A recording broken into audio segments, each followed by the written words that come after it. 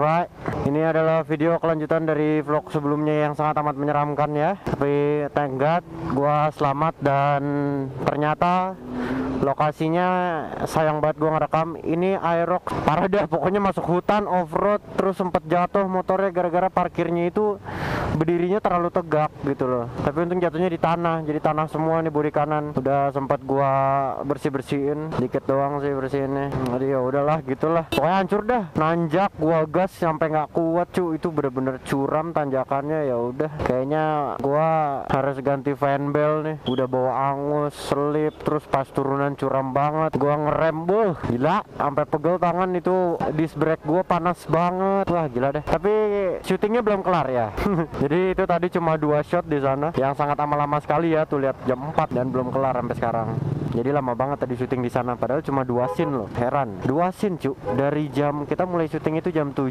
ceritanya gua uh, jadi pilot drone untuk iklannya susu online ya itu sangat amat ribet ya syuting groundnya ya. Ground ya ingat bukan drone. Kalau pas drone-nya itu waduh cuma sebentar.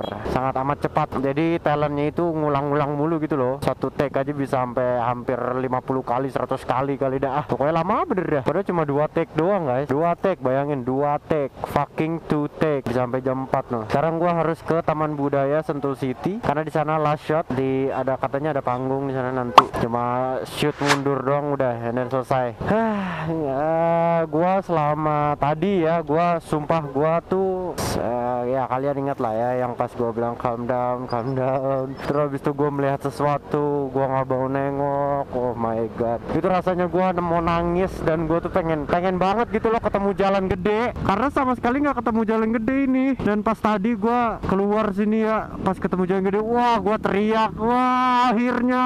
Gila gua kayak apa ya kayak habis diculik anjing dari hutan. Parah dah masalahnya gua nggak punya nggak ada temen kan di sana ya. Cuma kru film aja gitu nggak ada yang gua kenal.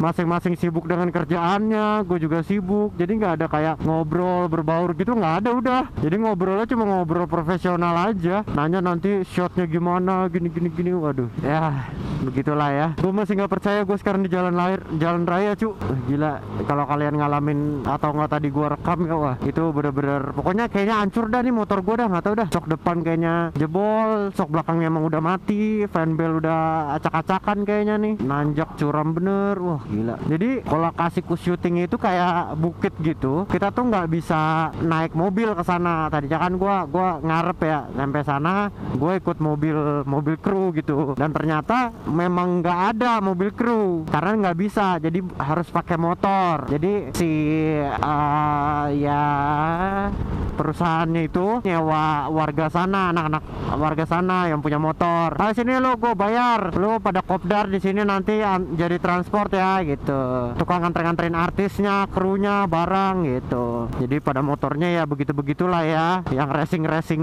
gimana gitu racing racing pedesaan gue tuh kayak gimana ya dada gue tuh yang ngap tadi. Jadi setelah di sana motor berhenti jadi pas kita parkir masih ada lagi. Jadi kita harus nanjak dulu kayak mendaki gunungnya dulu gitu. Jadi kita sampai kayak di paling tingginya gitulah ada batu gitu. Ada footage-nya gua tunjukin tuh lah.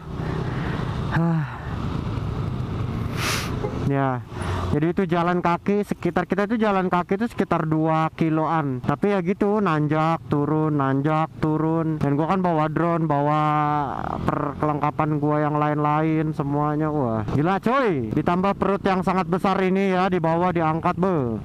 Jos. Jos pokoknya jos gua kasih kalian gua kalau riding itu mau sama teman mau sendiri mau buru-buru mau pelan-pelan. Pokoknya gua selalu denger lagu. Banyak orang yang banyak orang bilang itu bahaya karena ka- nggak akan bisa denger klakson kata siapa karena ya kita kan bisa uh, volumenya bisa di adjust biar kita tetap bisa ngedengerin yang lain. Karena ya setiap orang punya kayak titik fokusnya kan. Ada yang cara titik mereka bikin dirinya fokus itu pakai tahan napas ada yang gimana gitu beda-beda kalau gue denger lagu. Tapi untuk meningkatkan lagi biasanya kalau emang lagi serius banget gitu lagi tegang kalau gue riding diem nah itu kadang-kadang gue tahan napas. Makanya kadang-kadang suka lupa napas. Karena kenapa? Di saat lu kalau gua ya kalau gua di saat gua tahan napas gitu. Kayak gue tuh tiba-tiba kayak bisa denger apa pun yang yang mau gue denger gitu loh. Kayak klakson bisa gue denger terus habis itu ada suara apa sekecil apa pun dan gue tuh kayak lebih tajam aja matanya. Kalau gue tahan napas gitu jadi bisa ngelihat semuanya lah apa yang datang apa yang harus gue hindarin gitu. Bukan maksudnya bukan tembus pandang ya inget ya. Ternyata lebih agresif aja gitu ngelihatnya lebih cepat ngelihatnya pandangannya. Pasti orang punya lah sebuah titik fokus yang ya yang berbeda caranya gitu loh. Kayak kalau cara gue begitu dan selama ini gue belum ada cerita sih alhamdulillah. Alhamdulillahnya dan amit-amit jangan jangan sampai kejadian. Gue belum pernah sampai belum pernah gara perkara dengerin lagu gitu jatuh gitu nggak pernah. Turn right terminal itu mah depan berarti right buset dia mau goknya di lampu merah ya waduh. Gila. Main tabrak-tabrak aja bocahnya.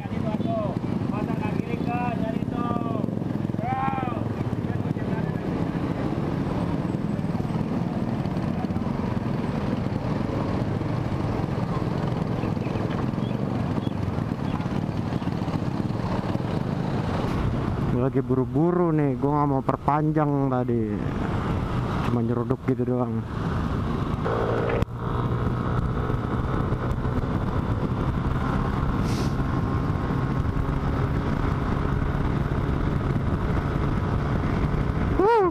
Sentul City, here we go.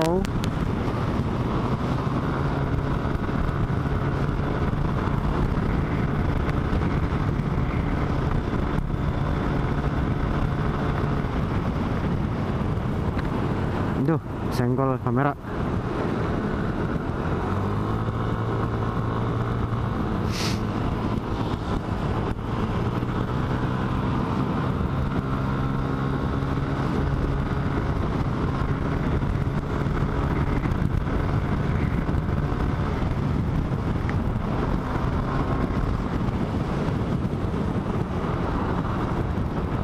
Terus kiri terus.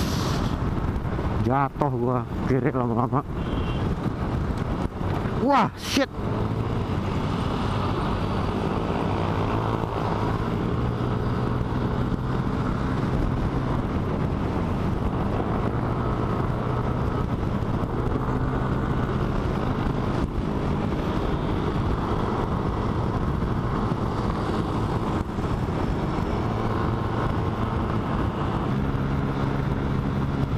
Gila ini jalan terlalu enak.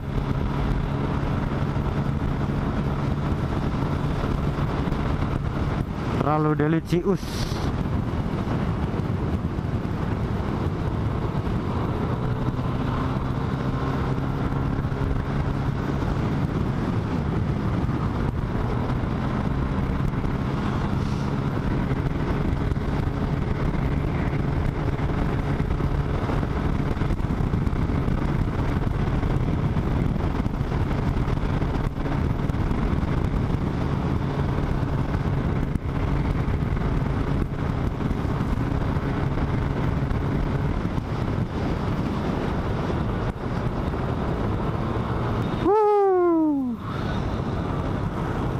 So, which one is the Taman Budaya Sentul? Is it? Oh yeah.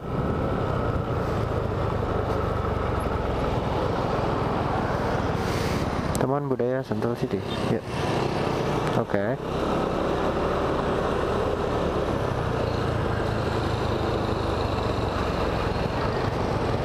Ya udah lah ya, masuk dulu aja.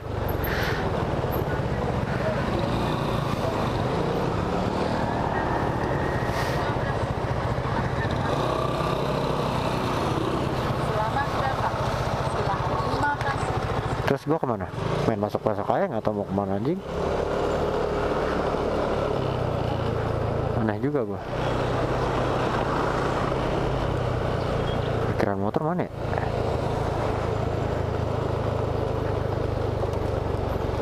Parkir motor di mana? Masuk sini aja deh.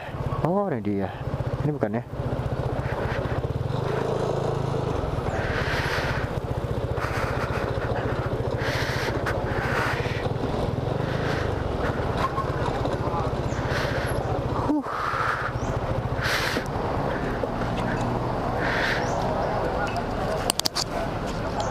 hari のもらったんがあった